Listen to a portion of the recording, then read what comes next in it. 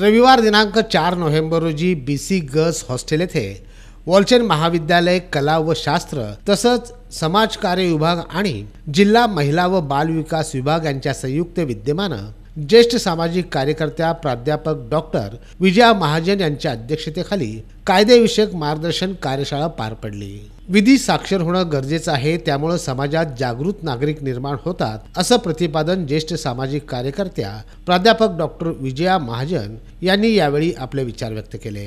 या कार्यशाळेची सुरुवात महिला बालक कौटुंबिक हिंसाचार माहिती अधिकार शिक्षणाचा अधिकार रोजगार हक्क बालमजुरी संविधान शासकीय योजना संरक्षण कायदे आदींची माहिती देणाऱ्या भित्तीपत्रकांचं प्रदर्शनाचं उद्घाटन करून करण्यात आलं.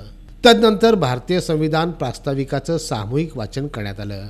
यावेळी महिला व बाल विकास विभागाच्या अधिकारी वैशाली भोसले यांनी देखील मार्गदर्शन केलं.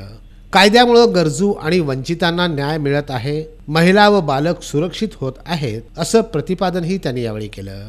यावेळी व्यासपीठावर ॲडव्होकेट मोहन कुरापाटी वैशाली भोसले आदींची प्रमुख उपस्थिती होती. सूत्रसंचलन आणि आभार प्रदर्शन ॲडव्होकेट सुनील वासम यांनी केलं.